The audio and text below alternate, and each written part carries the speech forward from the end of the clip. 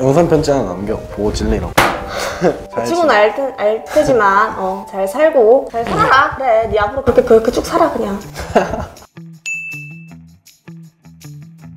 안녕하세요. 서울에 사는 김승준. 서울에 사는 김서연입니다. 반갑습니다, 반갑습니다.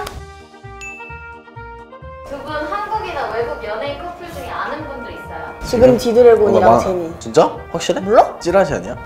그럼 너 이거 아니면 어떡할래? 확실한 건 모르겠지만 아무튼 뭐. 아 나 많이 알았는데. 하나 이던 유명하죠? 송중기 송혜교. 아이씨 그 이혼해가 이런 거 말하면 안 된다고. 오늘은 최악의 이별을 겪은 미국 커플들에 대해 알아보는 시간을 가질 거예요. 알아요. 저 카디비는 알고 남자분은 모릅니다. 2017년에 결혼해서 딸 컬처. 귀여워. 너한테 영상 많이 보여줬었잖아. 그래. 3년 만에 이혼 소송. 카디비가 공연하는 와중에 콘서트 와. 같은 데서요? 와우 일단 공개 연애를 하고 있을 때였어요? 와! 헉! 와 소름 돋아 와 소름이 또 왜 소름 돋지? 오. 와, 저 직접 본 팬들은 어떨까, 기분이? 야, 진짜, 아, 와, 와, 나 나가서 진짜 엉엉 울었어, 진짜, 진심. 와, 야저 사귀자고 한 거야 결혼하자고 결혼하자고 한 거. 공개 연애 중에 결혼하자고 한 거지. 음 아, 카디비 보고 못 봤었는데, 우와! 이러면서, 이러- 멋있습니다 응, 저 이런 거 보면 약간 감동받고 막 그러거든요. 일생일 때 단 한 번 약간 그런 느낌이잖아요. 저런 사람이 될 수 있을까요?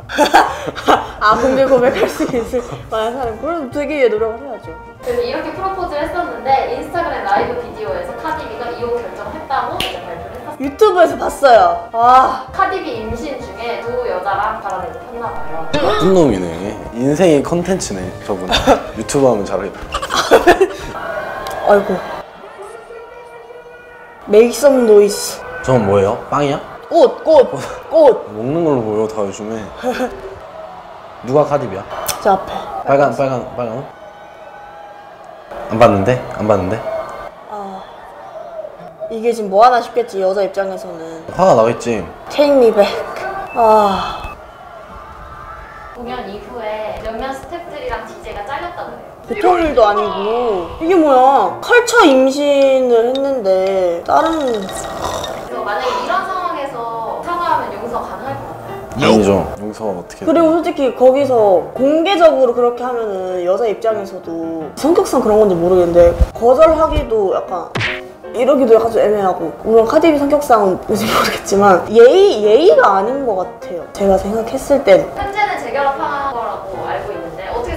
또 헤어져 아 뭐 열심히 앞으로 살아간다면 사람이 실수는 할수 있잖아요 잘못할 수 있고 뉘우치고 살아간다면 잘 되지 않을까 싶습니다 그들의 선택이기 때문에 저희가 뭐 뭐라 할 순 없지만 그러니까 카디비도 뭐 오프셋이라는 사람이 진짜 좋으니까 받아줬겠죠. 아 전 모릅니다 근데 이혼을 했구나. 7, 8년 만에 이혼했고 4명의 자녀가 있어요. 와 8년 만에 4명? 이 카니 웨스트가 되게 유명한 미국 래퍼인데 2020년에 미국 대통령 선거에 출마를 했었어요. And she said, We're gonna have this baby. I said, We're gonna have this child.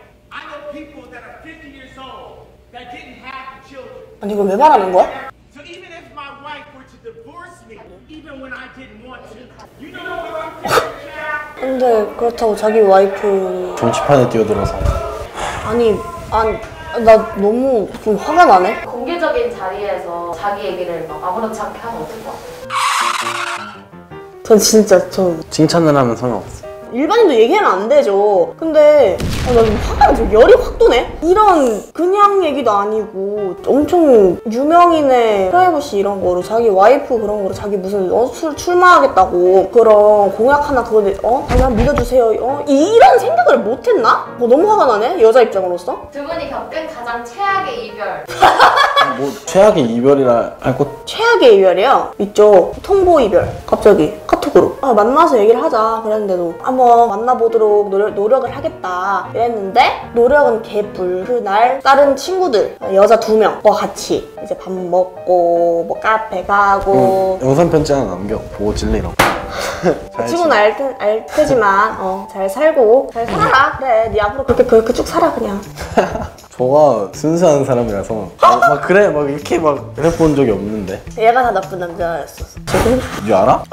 미안. celebrity랑 아.